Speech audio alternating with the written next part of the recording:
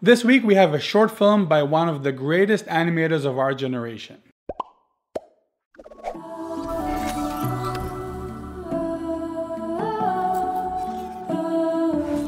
Before we get to the short, I just wanted to let you know that we have released the official course structure of our upcoming course, Animation Foundations. So you can check out all the lessons to get a better idea of what you'll get from the course. Just a reminder, the course comes out on the 18th, which is next Tuesday, and will be free with the purchase of any of our other courses for the period of one week. After that, it will be at full price. Check out the course structure at bloopanimation.com slash animation foundations. Now for the film.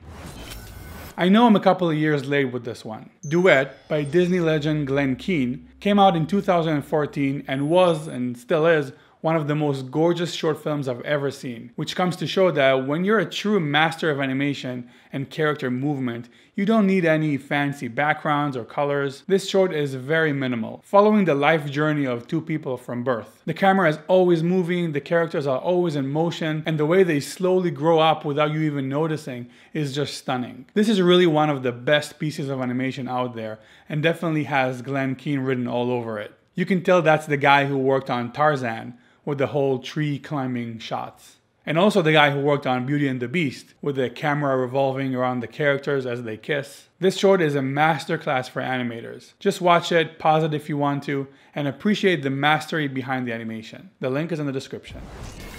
If you're interested in making animated movies, we have a free ebook for you, Making an Animated Short. The book takes you step by step through the entire process of making an animated short film from coming up with a story idea all the way to exporting the final film. Click to download it for free.